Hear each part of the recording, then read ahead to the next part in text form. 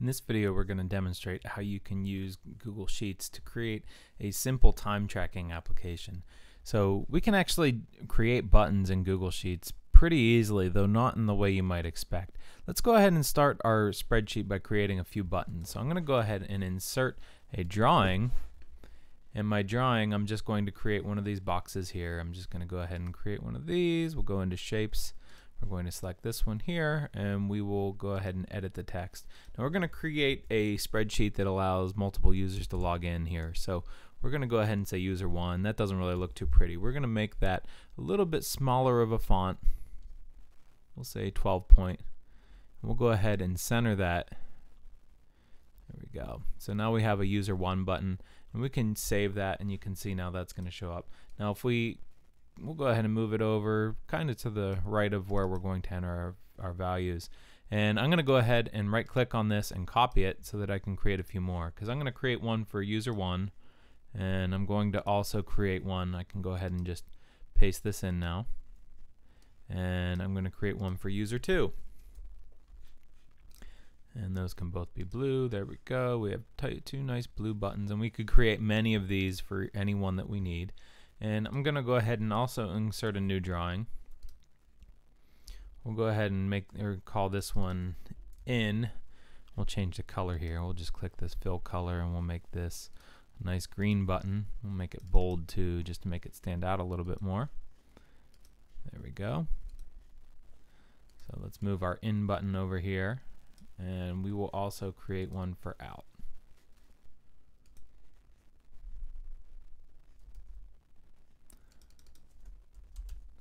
Go. We'll make that bold. We'll make that one nice little red sort of pink color. There we go, just to distinguish the two a little bit. We'll go ahead and move this over. So now we have our buttons that we're going to need.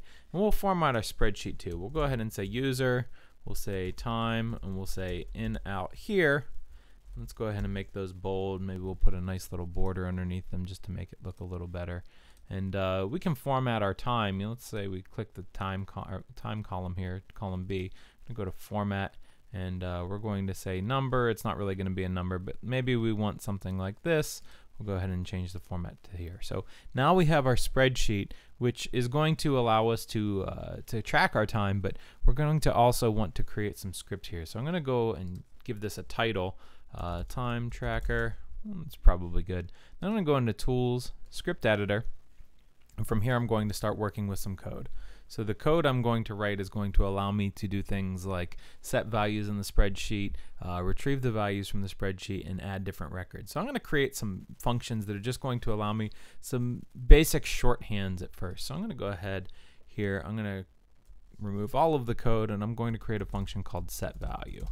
And I'm going to pass in a cell name and a value here. And this is just going to use spreadsheet app dot get active spreadsheet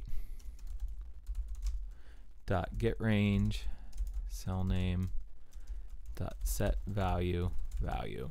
And that's just so that when I set values I don't have to type all of that out. I'm gonna go ahead and create a similar one called get value. And we'll go ahead and get value based on cell name and we will return spreadsheet app dot get active spreadsheet dot get range cell name get value. So these will be used to just retrieve and uh, modify the values in my spreadsheet. I'm also going to create one uh, that I'm going to need a little bit later called get next row. Function get next row. And all this is going to do is return spreadsheet app dot get active spreadsheet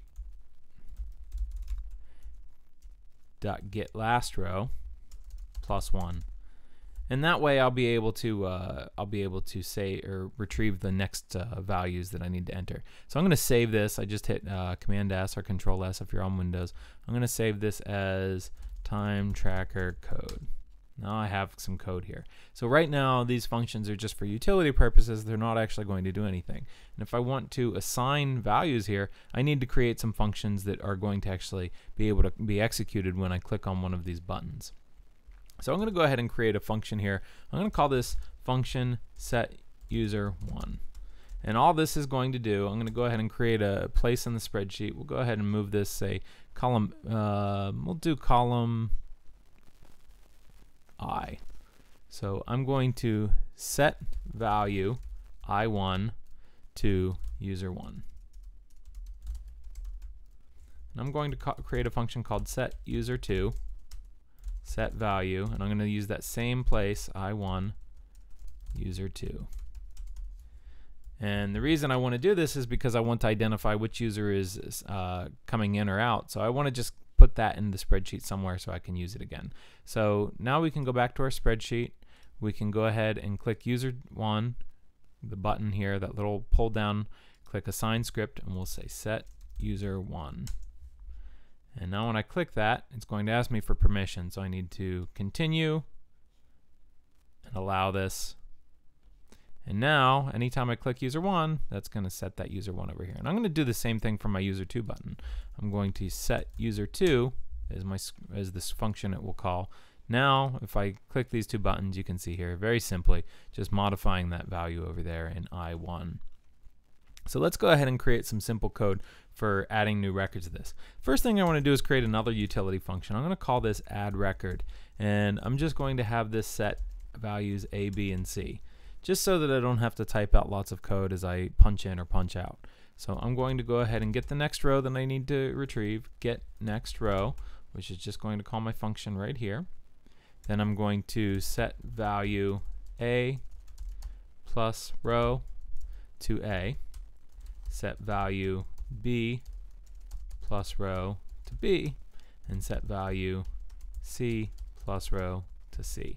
Basically, all this is going to do is I'm going to call add record with three values, and I'm going to set the values of A, whatever that row is, B, whatever that row is, and C, whatever that row is, to those those values that are passed in. So if I were to say at the end of set user, we say add record user one was clicked is my first value, say 10 is my second value, and uh, we'll go ahead and say third column is my third value.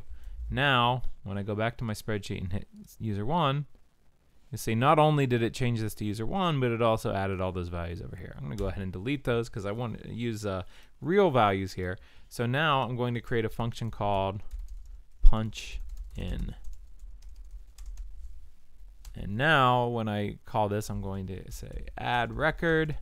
And the first thing is going to be get value I1 which is just where I've stored user 1 or user 2.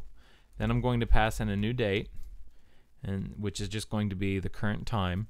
And then I'm going to pass in in.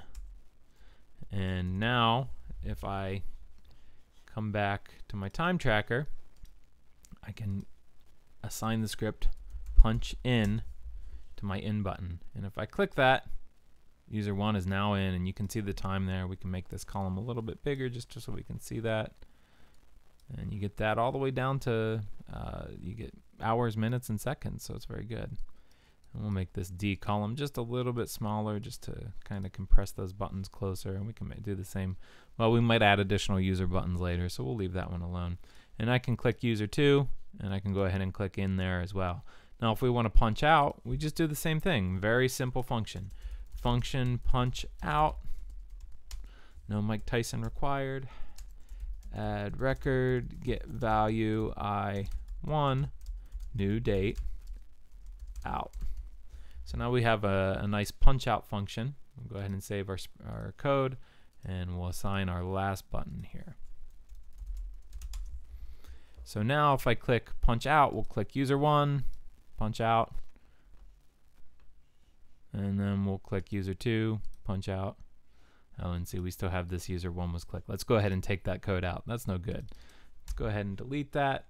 We'll go back, save our spread or save our code. Come back. We'll go ahead and delete this record. There we go. So now we can see we've got a user in, we've got a user out. So this will keep track of all of our time records, and then you can use those later to do the calculation to identify how long somebody was actually working. Thanks for watching the video, and uh, don't forget to practice your code.